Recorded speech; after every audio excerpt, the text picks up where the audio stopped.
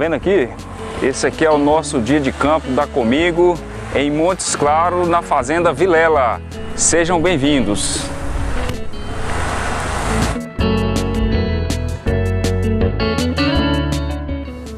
Essa é uma área que tem 35% de argila. Na entre safra fizemos a manutenção com 2 toneladas de calcário em superfície. No dia 19 de novembro nós plantamos 19 materiais de 7 empresas parceiras da Comigo. Na ocasião fizemos a adubação de manutenção com fosfato e potássio. Até o momento nós passamos com três aplicações de fungicidas e duas de inseticida. Hoje para mim representa uma parceria muito boa com a cooperativa, com Comigo.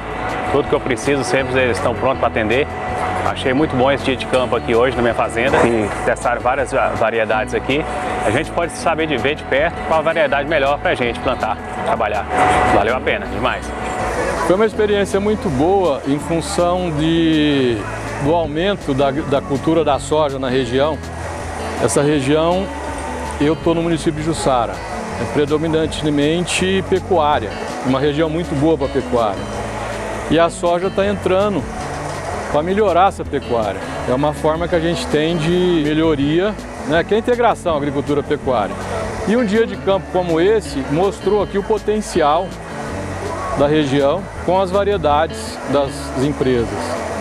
Então está sendo muito gratificante para todo mundo. Eu particularmente gostei muito e tenho muita esperança desse aumento de produção na região.